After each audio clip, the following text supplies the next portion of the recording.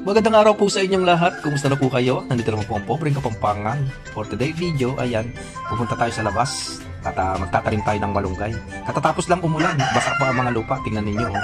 Dito yan sa likod, napakarami mga tanim dito sa likod namin. At ayan, kumuha na nga ako ng hagdanan. Aakyat tayo dito sa malunggay at puputulin natin itong malunggay. Tingnan nyo, ang taas-taas na, oh, abot na hanggang langit.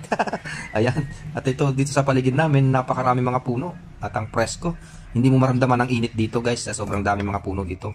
At ito nga, nakita nyo itong malunggay, sobrang taas na. At uh, ito tinanim ng misis ko since 2018 na nagbakasyon ako. Ayan, sobrang laki na ng puno niya at ang taas na. At hindi na namin makuha na ng dahon itong malunggay na ito. At uh, puputulin ko nga para magtanim tayo ulit. At gagawin nating bakod dito sa ating uh, bahay, dito sa sa likod. At ayan nga, pinag puputol ko na itong uh, malunggay at itatanim natin dito sa side ng aking bahay. At ayan, makikita ninyo. Ang tigas guys. At ito, tutuloy lang natin at puputol-putulin natin para itan nga. At ito nga, yung malunggay na yan, bumagsak na. Ang laki nitong puno na to. At uh, ayun, bumagsak na at gagawin ko siyang tatlong putol yan. At uh, tumawag ako ng katulong para putulin ulit ito dahil nga matigas itong kapatid ko at tinulungan ako para putulin itong malunggay. Ayan, bali pangalawang sanga na ito. So yun sa unang sanga na yun, magiging tatlong putol na at ayan na naputol niya na. Ang bigat nitong malunggay na yan. At itong pangatlo na sanga na naman, na pinutol niya na naman. Ayan, nakikita ninyo. Sobrang taas na ng malunggay na to at hindi ko na maabot yung mga dahon niya. At ayan nga, pinutol-putol niya.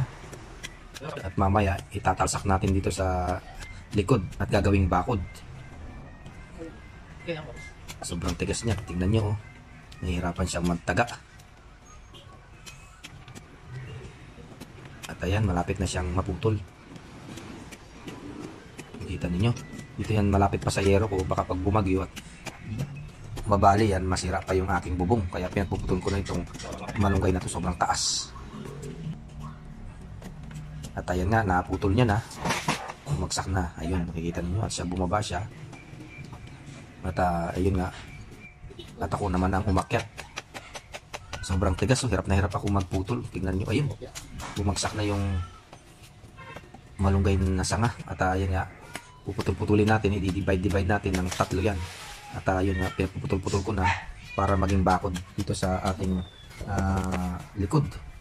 At bumaba na ako. Ito yung mga nakuha ko ng mga sanga. Kita nyo, isa, ayun, dalawa, tatlo, apat, lima. Ayan, napakadami mga sanga. At ito, tingnan ninyo, dito sa bakuran ko, ito, ang laki-laki na nito.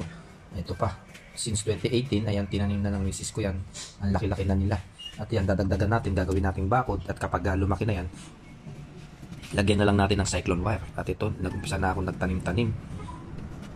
At hinayasan ko dun sa puwitan niya. Alam niyo guys, ang pagtatanim ng malunggay, dapat, ayan, ganyan. Kakayasin niyo yung sa puwitan niya para yung ugat niya, pag tinalsak nyo, mag-uugat kagad. At tinusok ko na sa lupa. Yan yung unang sanga. Ginawa ko siyang division, divide, divide, divide ko ng tatlo. At isang sanga, naging tatlong sanga. At ito pa. At uh, nagkukayo-kayo ko uli. At uh, itatalsak ko na naman itong pangalawang sanga. Maraming sanga ang nagawa ko guys. At yan na magsisilbing mga bakod natin pag tumubo yan. Lalagyan na lang natin ng cyclone wire. Imbes na uh, kahoy ilalagay natin. Ayan, may pakinabang pa, di ba? Ayan oh, tingnan niyo. Pagka kakayas ng malunggay, kailangan kayasin natin sa puwitan para agad siyang magtubo. Ganyan yung pagtatanim ng malunggay. Madali lang naman tumubo yan at mabasa naman ang lupa. Ayan, pinutol ko rin sa ilalim, tinayasan ko. Yan, ganyan pagtatanim ng malunggay, guys. Para agad siyang mag-ugat. Uh, at ayan, tinanim ko na naman sa pangatlong linya. May mga, ano yan, distance dis, distansya. Hindi sila pwede magdikit-dikit kasi pag, pag nagdikit-dikit yan, pag tumubo, mahirapan ka rin. At uh, para siyang bakod, magiging silbing bakod dyan sa likod ko. Yung mga nakikita nyo na nakatanim na yan, yan yung birds of paradise. Napapakinabangan ko rin yan kapag uh, may mga pestang patay dyan at uh, yung mga bulaklak yan. Yan ang kinukuha namin. Matagal ang bulaklak niya. Isa, dalawa, tatlo, apat. Yan, yan na, nakaside sa linya na yan, nakatanim. At ito, meron pang mga dahon-dahon, hindi ko na tinanggal para tuloy-tuloy na rin ang pagtubo niya. At tinaga ko sa puwit para at kinayasan din para yun sinasabi ko sa inyo para agad siyang tumubo ayan at uh, magsisilbing bakod na ito ayan nagkukayukay na rin ako sa lupa para itanim na to at itutusok itong malunggay yan ang ginagawa ko ngayon nasa day 30 na tayo.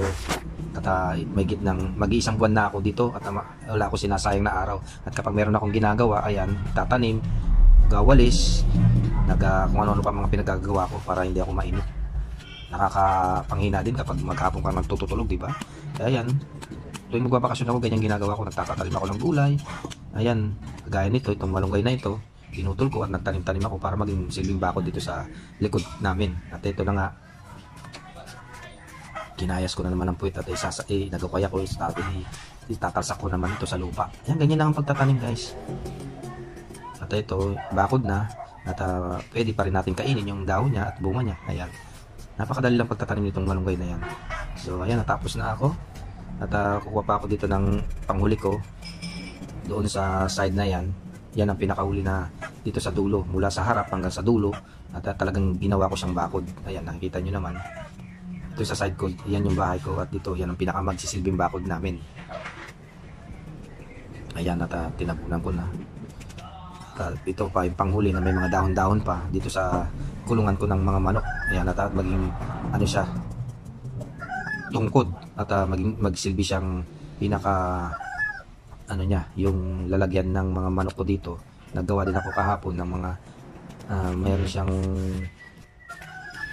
mga salasala yan at, at ayan natapos na ako guys. At hanggang dito hanggang doon sa dulo ayan pinaglalagyan ko na ng mga malunggay. Kikita nyo naman. Ayan di ba? Ayan ayan ang magsisilbing bakod namin dito. Hanggang dito hanggang dito ayan. Ayan pagod na pagod ako at maraming maraming salamat sa panonood. At sana nasyan po kayo ngayon sa vlogs natin. Yan lang ang ginawa ko na maghapon ngayon kasi nag-uulan. Tapos ng ulan ayan lumabas ako. At nagtanim-tanim ako para hindi naman ako mainip at, eh, at eh, sa pagbakasyon ko meron ako nagagawa. At uh, hindi na namamalayan lumilipas ang araw. Ayan at patapos ng isang buwan. At ayan maraming maraming salamat sa panonood. At sana nag-enjoy po kayo. Okay watching po